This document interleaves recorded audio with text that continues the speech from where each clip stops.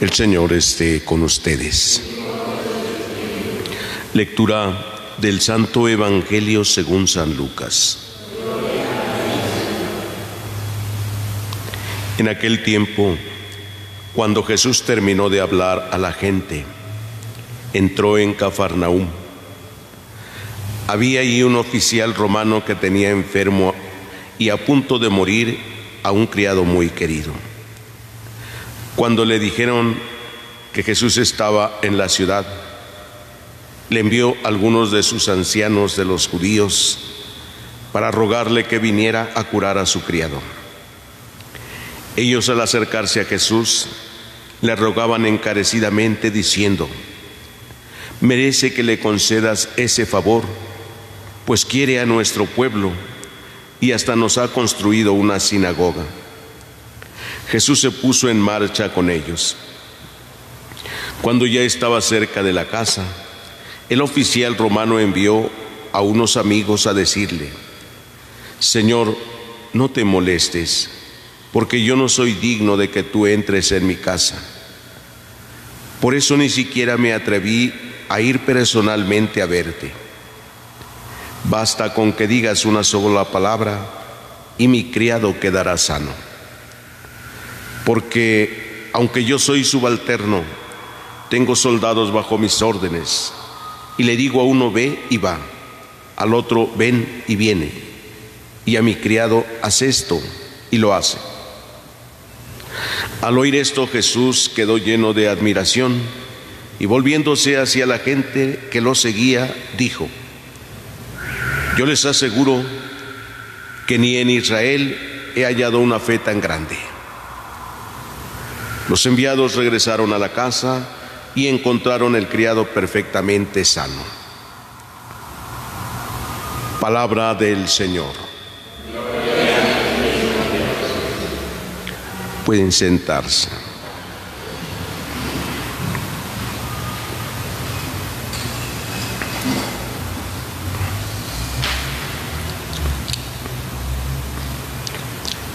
Acudimos hoy, queridos hermanos,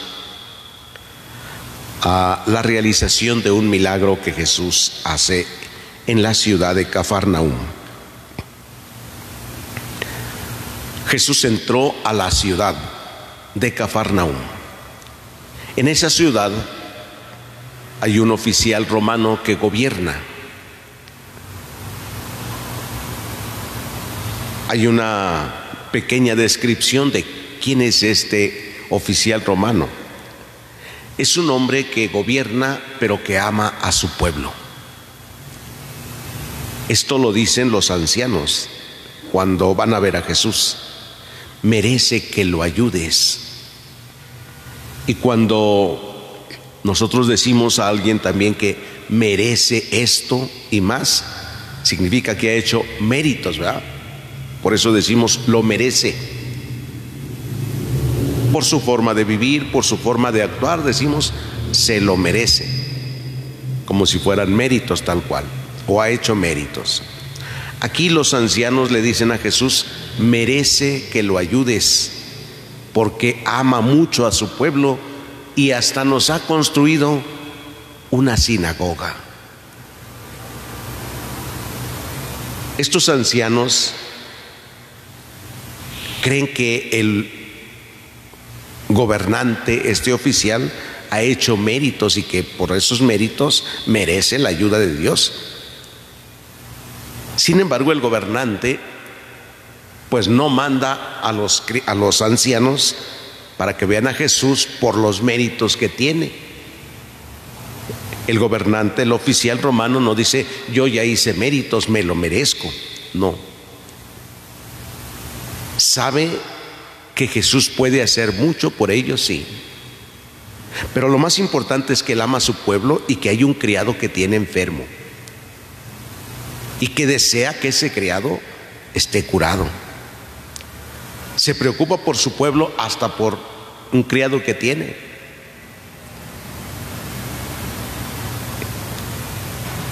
Si quisiéramos ver hoy cuánto amor tienen nuestros gobernantes por el pueblo, si se enferma un trabajador, Con trabajos le dan permiso para que vaya al médico. Si el médico le da una incapacidad, pues ya están molestos porque pues no va a trabajar. ¿Cómo podríamos decir hoy nuestro gobernante, donde sea, cualquiera que este sea, merece, porque ama a su pueblo y hasta nos ha construido esto?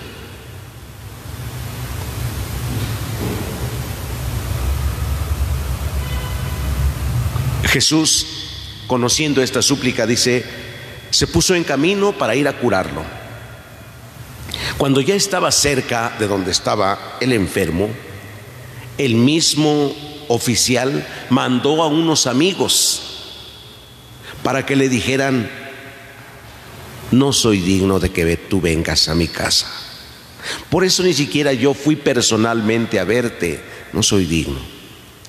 Basta con que tú digas una sola palabra y mi criado quedará sano.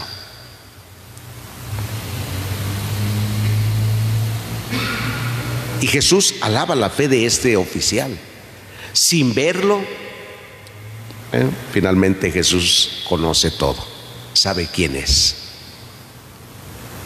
Pero ante los demás les dice Jesús, les aseguro que ni en Israel siquiera he encontrado un hombre con una fe tan grande como la de este gobernante, este oficial romano.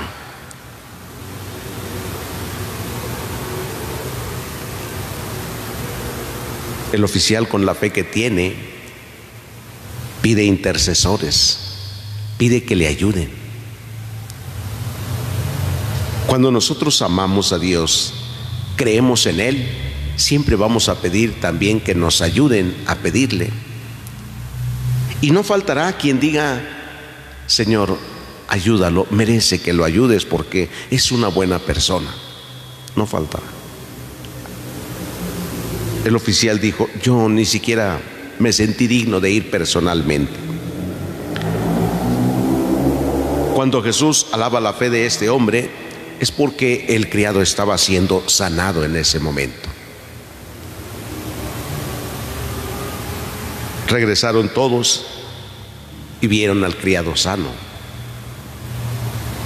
¿Qué no hace Dios por nosotros cuando lo amamos? Cuando no buscamos hacer méritos, aunque todavía andamos diciendo hay que hacer méritos para salvarnos, hay que hacer méritos, como si la salvación viniera por nuestros méritos. Ah, la salvación viene por la fe que manifestamos a Dios con nuestras obras. La fe de este hombre se manifiesta con las obras. Ama a su pueblo, hace todo por él y hasta en lo más insignificante se preocupa por él. Cree en Dios, cree en Jesús, cree que Jesús puede sanarlo también. Conoce su limitación humana este gobernante Dice, no soy digno, por eso ni siquiera vine ante ti. Yo personalmente no lo hice. Queridos hermanos, en este día también nosotros analicemos nuestra fe. Creemos o hemos creído y hemos pensado que estamos haciendo méritos para que Dios nos ayude. Miren cómo hay quien a veces se acerca y le reclama a Jesús, Señor, si te estoy sirviendo, si me estoy entregando a ti siempre, si hago por ti esto, ¿por qué no me escuchas? ¿Por qué no me atiendes? ¿Por qué no me haces caso? No son los méritos, sino la fe y la confianza en Dios. Creo, confío y sé que Él lo hará como Él quiera y cuando Él quiera. Ah. Hemos de orar. La primera lectura nos pidió hoy orar por nuestros gobernantes.